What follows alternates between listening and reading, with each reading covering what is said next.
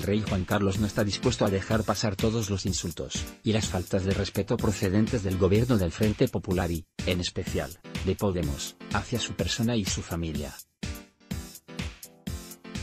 Con la fecha de regreso a España ya prevista, el emérito ha empezado su venganza particular con el Ejecutivo, y ha preparado cuatro dossiers que pretenden tambalear al Estado. Uno de ellos ya habría sido entregado, y el destinatario del mismo sería el conocido locutor de la cadena COPE, Carlos Herrera.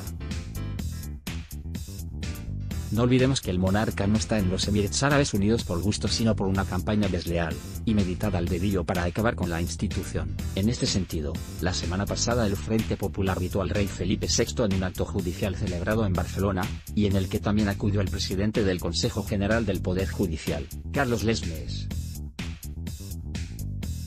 El SER está lleno de pruebas que demostrarían el interés constante de la izquierda de acabar con la Constitución de 1978 para implementar un régimen progre donde los separatistas, y todos aquellos enemigos de la democracia se sienten más cómodos.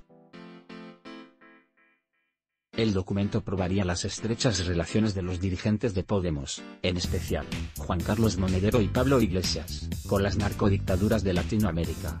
Ahora solo está por ver cuál será la fecha en la que se publiquen todos estos secretos de Estado.